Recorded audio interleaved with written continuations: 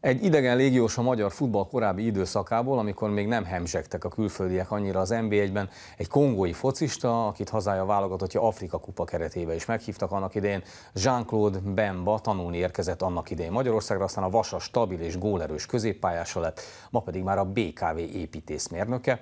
Hát őt kérdezzük a daliás időkről, meg hát a folytatástól. Jó reggelt kívánok szerint. Jó reggelt kívánok.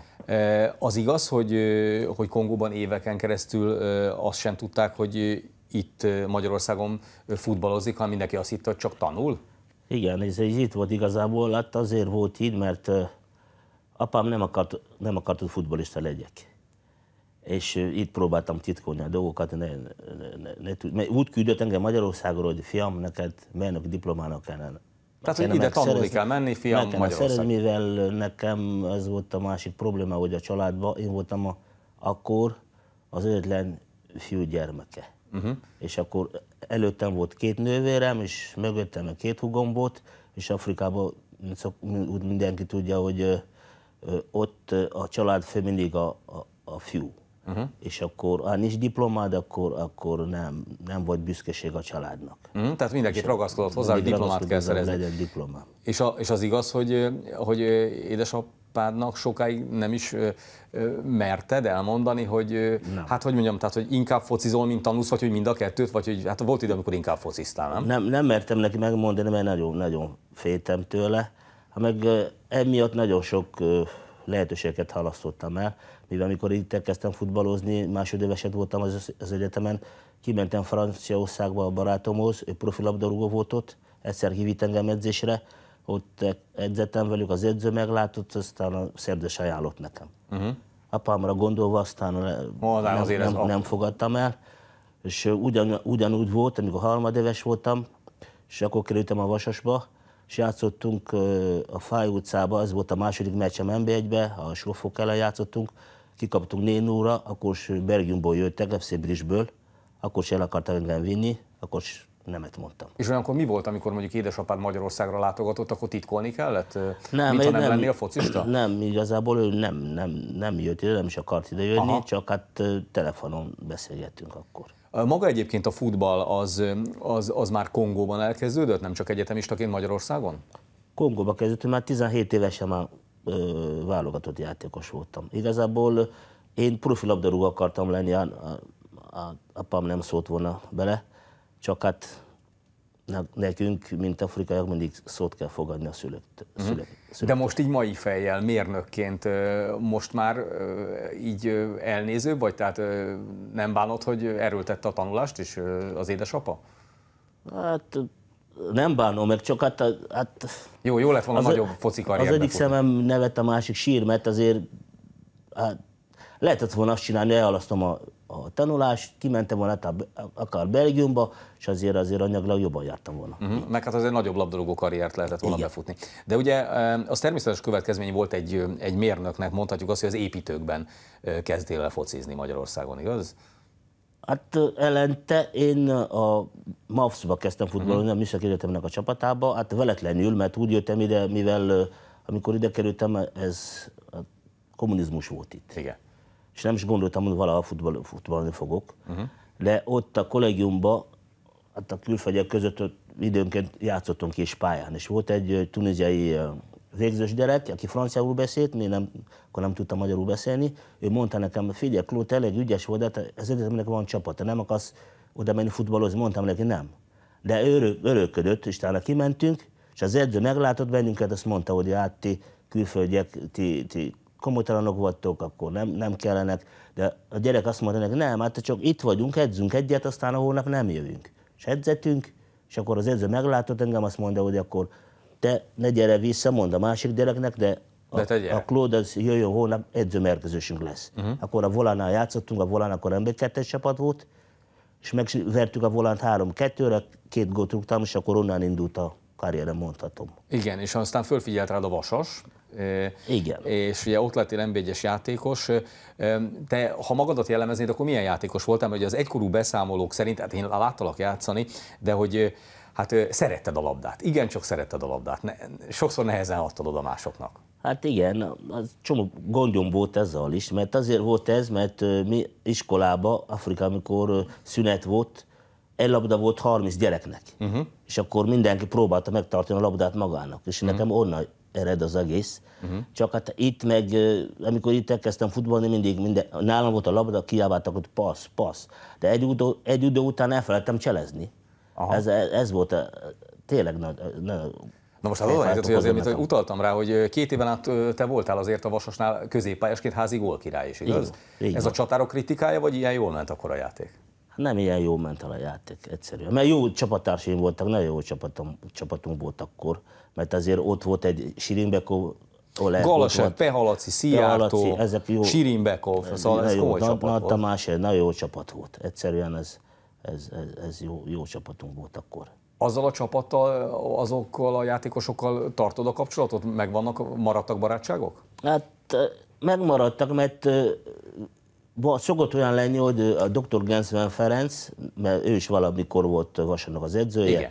és ő szokott ilyen, hát mondhatom, osztály találkozott, mit tudom, mit rendezni Monoron, és uh-huh. akkor mindenki eljön, aki épp Magyarországon a régi van, és akkor ott szoktunk találkozni, bulizni egyet, beszélgetni, infókat cserélgetni. Uh-huh.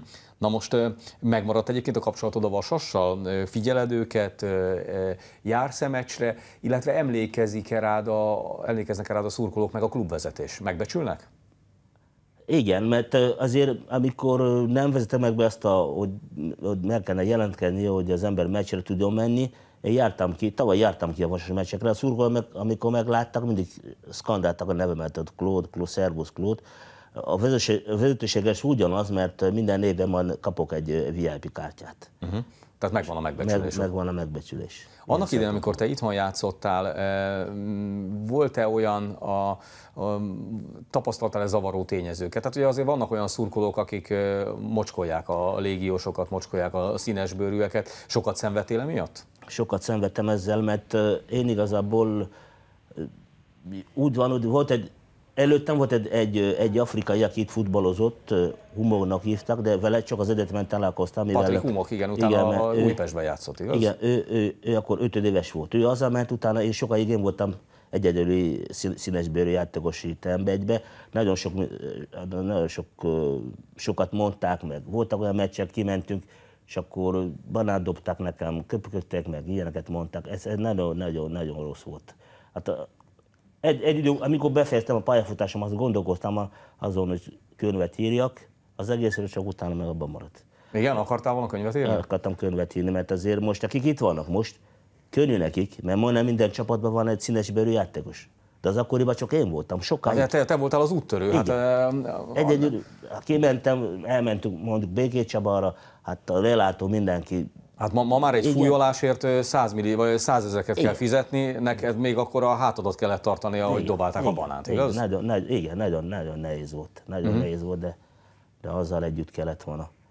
Na azzal együtt valahogy úgy tűnik, mert hogy itt maradtál, Magyarországon maradtál, itt dolgozol, itt lettél építészmérnök, szóval úgy összegészében azért az országgal ilyenfajta problémád nem volt. Nincsen, nincsen. Hát én azért akár, de azért nagyon sokat is hozott nekem a labdarúgás, mert azért, mert ahol vagyok most a BKV-nél, ez, ez állami cég, nem akárki kerül oda. Ott is én vagyok az egyetlen színesbőrű já, ö, dolgozót. Játékos.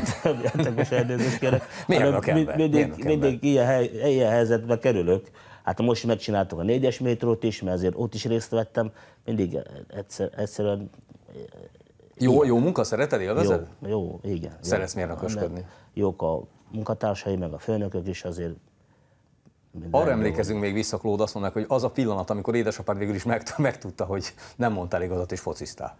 Hát akkor tudtam, meg már meg volt a diplomám, utána nem tudod mit csinálni. Jó, hát akkor amikor bemutattad a diplomát, Igen, akkor meg már... volt a diplomám, utána nem tudod. Mert akkor, amikor mentem 92-ből Afrikaség kupába játszani, először hazamentem, és akkor meglepődött az öreg, hogy most akkor végre hazajöttél, már nem, azért jöttem, mert most nem kell futballozni. Hát mert ugye arról beszélünk, hogy a 92-es Afrika kupán igen, te bekerültél a kongói válogatottba, és akkor ez az öreget melbevágta, meg meglepte, És nem? akkor mutattam neki a diplomát, és, és akkor kérdezte, hogy akkor mikor jössz végre haza? Hát mondom, meglátjuk. Csak azért nem tudtam hazamenni, mert menet közben volt polgárháború nálunk, azért nem, nem mentem. Igen. De másképpen visszamentem volna. Visszamentél volna. Igen. De most viszont így már ö, jársz haza, igaz? Voltál decemberben is voltál utoljára. Igen, minden évben egyszer megyek, decemberben szoktam menni. De te már tulajdonképpen akkor félig meddig vagy inkább ö, félig, vagy inkább meddig, szóval meddig vagy magyar? Hát szerintem 98 százalék. 98 százalék. Itt telepettél le, Igen. itt fogsz élni. Hát egy több időt töltöttem itt Magyarországon, mint, mint, mint Kongóban, azért, azért érzem úgy, hogy ide tartozom én. Já, focizol még ma is? Focizom, az a szerencsém, hogy a, BKV ez nagy, ne, nagy cég, ott a cégen belül van üzemi bajnokság, és minden csütörtökön játszunk, és ott vagyok. Hát hosszú a szezon, márciustól kezdődik, és októberig. Tehát az üzemi bajnokságban, hogyha valaki Igen. látni akarja az Igen. ördöngös cseleket, akkor most is BKV. meg tud nézni kispályán, igaz? Kispályán, BKV pályán. Igen. És az soha nem vetődött föl benned, hogy visszatérjél a focihoz? Már úgy értem, hogy lehetne az ember még edző is, nem? Hát, Hát, Afrika volt- kupán most már látunk, meg egyáltalán is látunk fekete varázsló trénereket, nagy edzőket. Igen, volt, volt rá lehetőség, mondták, hogy legyek játékos edző, csak nem nagyon, mert nekem az ott a fejembe, hogy mivel van mérnöki diplomám, mérnökét A nem szeretem volna dolgozni, és azt is teszem.